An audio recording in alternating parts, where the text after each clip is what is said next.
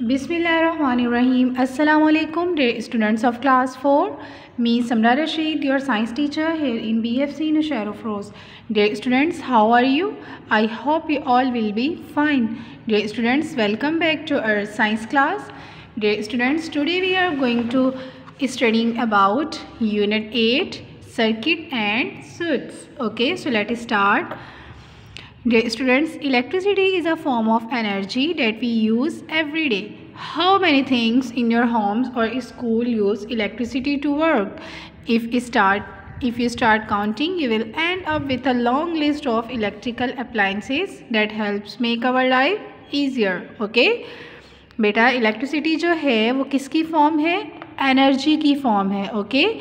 Electricity जो है वो किसकी फॉर्म है? एनर्जी की फॉर्म है, जो हम अपनी डेली लाइफ में यूज़ करते हैं ओके बहुत सी ऐसी चीज़ें हैं जो हम इलेक्ट्रिसिटी के ज़रिए करते हैं ओके और इलेक्ट्रिसिटी जो है वो हमारा काम बहुत आसान कर देती है okay with the help of electricity जो मशीनरीज वगैरह होती हैं, वो किसके ज़रिए चलती हैं? इलेक्ट्रिसिटी के ज़रिए।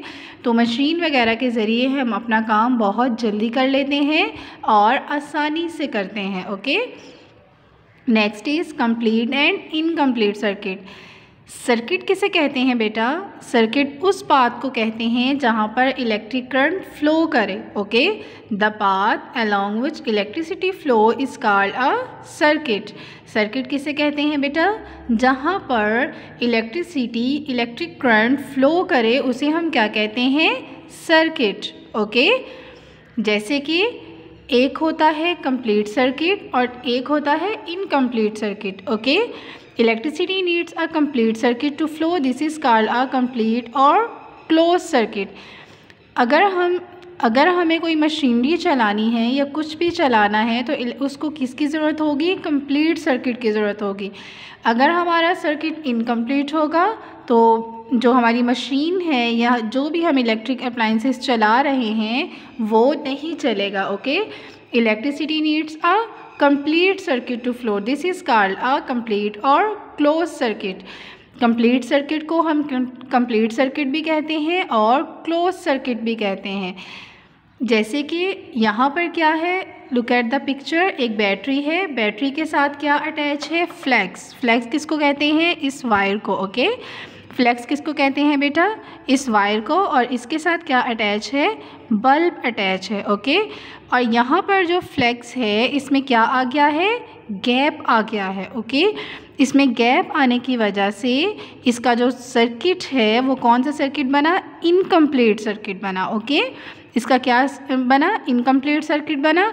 अब यहाँ पर हमारा जो बल्ब है, इसमें लाइट नहीं आ सकती because of incomplete circuit okay अगर यहाँ पर फ्लैक्स में गैप नहीं होता तो हमारा सर्किट क्या होता? कंप्लीट सर्किट होता। यहाँ पर फ्लैक्स में गैप है, इस वजह से हमारा सर्किट क्या है? इनकम्प्लीट सर्किट है। इनकम्प्लीट सर्किट कैसे होता है? यानी कि हमारा हमारी जो फ्लैक्स होती है वो ब्रेक हो जाती है उसमें गैप आ जाता है जिसकी वजह से आ, हमारा जो भी इलेक्ट्रिक अप्लाइंसेस होता है वो अपना काम नहीं कर सकता ओके और कंप्लीट सर्किट कौन सा होता है? जिसमें फ्लैक्सिस वगैरह कंप्लीट होती हैं okay if there is a gap or break in the circuit the electricity will not flow अगर एक फ्लैक्स में गैप आ जाएगा तो इलेक्ट्रिसिटी जो है, वो फ्लो नहीं कर सकेगी okay this is called an incomplete or open circuit इसे हम क्या कहते हैं? इनकम्प्लीट या open circuit okay students now student your homework बेटा, आज का आपका होमवर्क है। आपको क्या करना है? Read and understand book page number ninety two okay, बेटा, आज का आपका होमवर्क है, आपको 92 बुक पेज रीड करना है और इसे ही अंडरस्टैंड करना है। Okay students we will be continue our next class tomorrow okay thank you अल्लाह हाफिज़